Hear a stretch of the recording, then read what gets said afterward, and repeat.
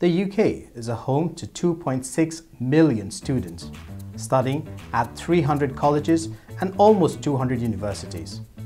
The, the education sector contributes almost 43.9 billion pounds in revenue. So, here is a complete guide for you to apply for a student visa in 2023. My name is Hemang Laaheru and I'm a regulated advisor with Conroy Baker Limited.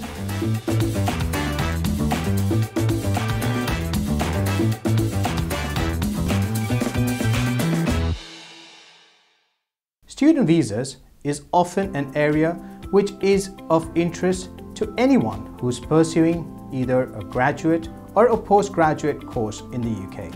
In 2022 alone, the Home Office granted 166,000 visas to students from India alone. That shows the vibrancy of the student education sector and the number of students applying for the UK. In this video, I'm going to talk to you about five steps to apply for a student visa in 2023. The first step is to start with the research. With the plethora of courses that the UK universities offer and the number of options which are available, students have to be mindful about the course content, they have to be mindful about the intakes of the courses, and also the tuition fees that could be different for different courses which are being offered at the universities in the UK. The second step is to obtain an admission letter from the university.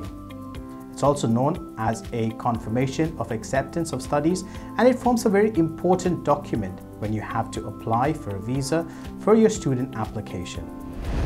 The third step is to identify the appropriate visa route for you. Depending on the kind of the course, the duration of the course, you might be eligible to apply for a short-term study visa or you could look at applying for the General Student Visa, formerly also known as the Tier 4 student. Once you've identified the right route, and you could visit the Home Office website to get the information about the different visa routes, or you could speak to a regulated immigration advisor to identify the appropriate route for your application. Once you've done that, the next step is to collate all the documents to ensure that you meet the requirements. Primarily, when you want to apply for this visa, you need to ensure that you have a valid passport which will allow you to travel and to endorse your visa vignette on it. You need to also ensure that you have the appropriate funds to meet the living cost. Now this is in addition to the tuition fees that the universities will be charging. The living cost requirement is different if your course is either in London or it's based outside of London. The information about the living cost is available in the description box below. You could also look at subscribing to our newsletter to get the details about the latest costs for your UK visa application. Now once you have an idea and you've got the acceptance from the university, you meet the requirements for the maintenance funds, you've shown that you've got adequate funds to pay the tuition fees as well, you then move to the next step, which is actually applying for the visa. This is the most important stage in the whole process. Once you've collated the paperwork, the online application needs to be completed. You can apply for a student visa if you're within the UK, or you could also apply for it from outside the UK. It's important to note that you leave plenty of time in order for your visa to get processed.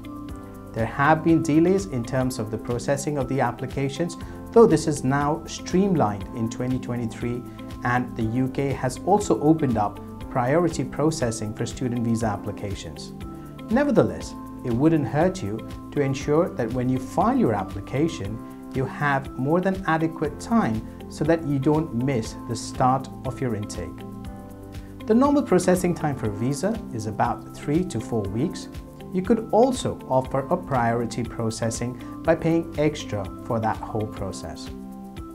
Once you have your visa, you will then be ready to travel and start your course well within time. Thank you so much for watching.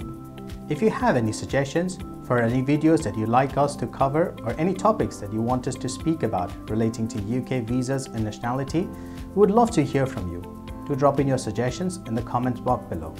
I'll see you next time.